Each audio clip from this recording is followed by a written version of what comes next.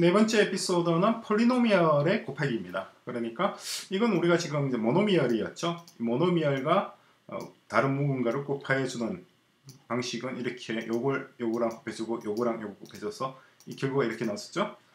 똑같은 방식으로 이번에는 폴리노미얼로 다른 무언가를 곱해주는 거죠.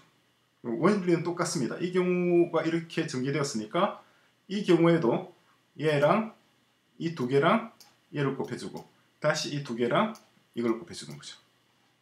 이렇게 되죠. 풀어서 같은 것끼리 같은 것끼리 묶어주면 이렇게 됩니다. 따라서 이 표현과 이 표현은 이큐브런트 이퀘진이 되는 거죠. 이걸 이제 지오메트리컬하게 보게 되면 이런 식으로 표현할 수 있습니다. x 더하기 3과 x 더하기 4를 곱해준단 말이에요. 그러면은 이렇게 되겠죠. 사각형. 그죠? 뭔가 뭐, 무엇과 무엇을 곱해주는 건 다 이제 보통 square라고 얘기를 합니다. 그죠? 음, 두 개를 곱해주는 것은 스퀘어가 되죠. 그죠? 어쨌거나. 자, 여기 이런 건데, 이걸 나누면 어떻게 되나요? 얘는 x 플러스 토는 x와 토, 이렇게 둘로 나눠줄 수가 있죠. 따라서 이 부분은 x와 x 더하기 3을 곱한 면, 면적이 되고, 이 부분은 4와 이 녀석을 곱해준 면적이 되는 거죠. 그죠? 그럼 다시 한번 이 부분은 또 어떻게 되나요? X 곱하기 x 더하기 3은 우리가 이전에서 공부했다시피 x와 x 스퀘어와 3x로 나눠질 수가 있죠. 기억나죠? 지난 에피소드에서 요 녀석이 이렇게 나눠진 거 공부했었잖아요. 요 녀석은 이렇게 나눠지는 거 공부했었죠. 그죠? 그럼 결과적으로 어떻게 되나요? x square 더하기 3x 더하기 4x 더하기 12. 요 녀석과 요 녀석은 의미가 같다. equivalent equation이고 얘네들 둘은 합쳐줄 수가 있죠. 합쳐지게 되면은 like 텀이 되는데 일반식으로는 이렇게 표현할 수가 있는 거죠. 이해되시죠? 기본 원리. 그죠? 원리는 그렇게 됩니다. 그래서 이걸 어, 얘랑 얘랑 이렇게 서로 곱해준다 할 때는 어, 먼저 얘랑 얘랑 곱해서 이게 나오고 얘랑 얘를 곱해서 이게 나오고 얘가 얘를 곱해서 이게 나오고 얘와 얘 곱해서 이게 나오고 대주는 겁니다. 이렇게 왼쪽에서부터 해나가는데 좀 주의하셔야 됩니다. 일반적인 곱하기는 여기서부터 먼저 곱하고 곱하고 곱하고 이렇게 하잖아요.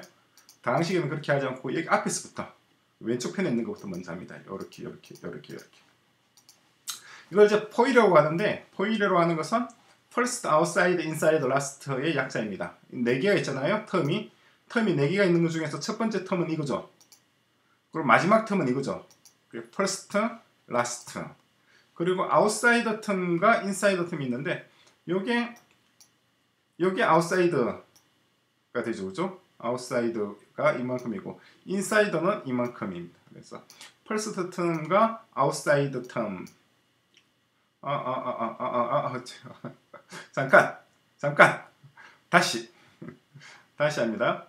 그러니까 first는 first, 이게 last는 last, 그리고 outside가 요 녀석과 요 녀석이 outside고 요 녀석과 요 녀석이 inside잖아요. 요 두 개가 안에 있고 요 두 개가 밖에 있죠.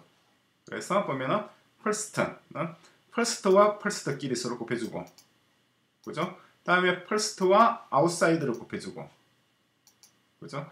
그리고 inside와 어, inside를 곱해주고, inside와 last를 곱해주고, 그리고 이제 foil이라고 표현 합니다. first, outside, inside, last라고 얘기합니다. 음, 하여튼 그 친구들 이름 붙인 거예요. 나도 한 번씩 헷갈려요. 지금 전에 뭐 마찬가지로 좀 헷갈리긴 합니다. 그리고 이 포일이라고 표현한 표현은 우리가 알지브라를 하면 계속 마주치는 표현 용어인데 아, 미국에 있는 친구들은 이 표현이 참 마음에 드나 봐요. 수학책마다 거의 빠지지 않고 등장하는 게 표현입니다. 자 예를 보겠습니다. 어떻게 한다? 이렇게 하는 거예요. first와 연유 first 서로 간에 곱해주고 first와 last를 곱해주고 inside와 인사이드를 곱해주고 inside와 last를 곱해주고 그죠? 음 근데 지금 그림 자체가 조금 조금 잘못되어 있어요 보니까 얘가 이게 오는 게 아니고 이 화살표 이 위에 화살표가 이쪽으로 와야 됩니다. 그죠? 4x 위에 와야 돼요. 4 위에 오는 게 아니라 그림이 잘못됐네. 저도 지금 방금 봤어요. 자 이렇게 여러 개 있는 경우는 어떻게 될까요? 그죠? 똑같이 해주면 됩니다. 이 녀석과 이 녀석 이 녀석과 이 녀석 다음에 이 녀석과 이 녀석 이 녀석과 이 녀석 다음에 얘와 얘 얘와 얘 이렇게 되는 거죠. 그죠? 이번에도 그림이 제대로 되어 있나 이번에는 됐고 됐고 됐고 됐고 됐고 됐고 이번에는 그림이 제대로 그려져 있네요. 그렇게 해서 정리가 할 수가 있습니다. 다음에 이거는 지금 마이너스가 그냥 나와 있죠. 이거는 그냥 그대로 마이너스 해주면 되는데 일단 요걸 먼저 풀어줘야 될 거 아니에요. 그래야지 얘랑 서로 더하기 빼기가 되겠죠. 얘를 풀어주려면은 얘는 이것 곱하기 이거잖아요. 따라서 똑같이 해주면 됩니다. 이것이랑 이것을 곱해주고 이것이랑 이것을 곱해주고 이거랑 이거 곱해주고 이거랑 이거 곱해주는 거죠. 그렇게 한 것이 여기서부터 여기까지입니다. 그런 다음에 얘는 여기 뒤에다 붙이는 거죠. 그러면 각각을 곱해주면 됩니다. 이것은 곱하면은 이렇게 되고 이것은 곱하면 이렇게 되고 이렇게 되고 하는 것들은 우리가 지난 에피소드에서 다 공부한 거죠. 그죠? 그렇게 한 다음에 라이크 텀들끼리 또 정리를 해주면 되겠죠. 얘랑 얘하고 얘하고 얘가 라이크 텀이니까 같이 정리해서 이게 되는 거죠. 그 얘하고 얘하고 라이크 텀이니까 정리해서 이렇게 되는 겁니다. 그 결과적으로 이렇게 되는 거죠. 그러니까 이것과 이것은 이퀴브런트 이퀘이전이죠. 동등한 이퀘이전. 동등하다는 게 어떤 의미인지 알죠? x 이것이 이것이 뭐 예를 들어서 제로다. 제로라 하는 것을 이 문장이 참이 되는 x 값은 여기에 넣더라도 참이 된단 말이에요. 반대로 여기에 들어가서 폴스가 되는 거짓이 되는 x의 값은 여기 넣더라도 거짓이 되는 거죠. 물론 뒤에 이퀄 제로라는 게 있다고 가정을 합니다. 그런 이퀘이션을 우리가 어, 이퀴브런트 이퀘이션이라고 하는데 지금은 이퀄이란 기호가 없으니까 이퀘이션은 아니죠.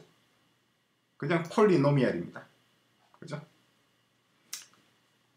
자, 엑서사이즈 있습니다. 그러니까 공부를 하실 때 여러분들이 중심을 두고 공부할 내용은 뭐냐니까 이 개념, 원리를 이해하는 거고 두 번째는 용어를 정확히 이해를 하는 겁니다. 용어. 뭘 두고 polynomial이라고 얘기하는지. 그죠? 어떤 것을 monomial이라고 하는지. 그리고 어떤 property, distributive property나 commutative property와 같은 것들이 구체적으로 어떤 의미이고 왜 그런 것이 가능한지를 잘 이해를 하셔야 됩니다.